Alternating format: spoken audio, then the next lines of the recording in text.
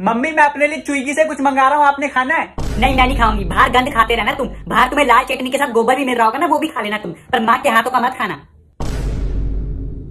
क्या बनाया आपने? टींडे कल क्या बनाया था? करेले। उससे पहले क्या बनाया था? लौकी। इतनी हरी सब्ज़ी खिला दी है अब तो पत्ते और घास ही बाहर आ रही है।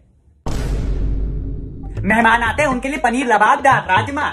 उनके लिए ऐसे ऐसे खदानों और तिजोरियों में से बर्तन निकाले जाते हैं जिसको देख के आँखें चमक जाती है। अच्छा ये भी घर में है? हमें तो टूटो कप में चाय मिलती है।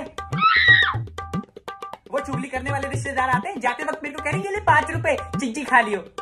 महला बना लो पाँच रुपए में। मैंने कहा आप मेरे से पैसे लो जाके पहले अपनी दवाई लेके आओ। तेरे पापा भी तो खाते हैं कुछ नहीं बोलते वो। वो भला आदमी क्या बोलेगा? चप्पल की नोक पे आप उन्हें खाने खिला रहे हो। मेरे पास आके रोते हैं वो। उनके तो सपनों में भी पनीर आना बंद हो गया। मेरे साथ भैंस मत कर। तो गाय कर लो। आपने खाने में मंगा रहा हूँ। नहीं मैं नहीं खाऊँगी। A few moments later.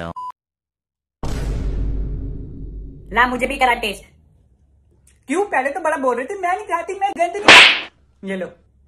होते किसका डर कितनी प्यारी लग रही है खाते हुए। दुआओं का है घर मेरी माँ।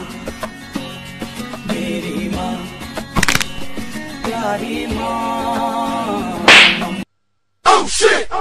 आज के बाद कोई गंद मंगा मत रही बाहर से तू। हाँ तो ये ले खत्म। सारा खा गए? मैंने ये गंद खा लिया ताकि तू ये ना खा पाए। आएँगे बड़े। आज के बाद ही मंगा मत लियो मेरे सामने। गंद खाएँगे। मम्मी ये गलत बात है मेरे साथ शोषण हो रहा। 勝ったもん。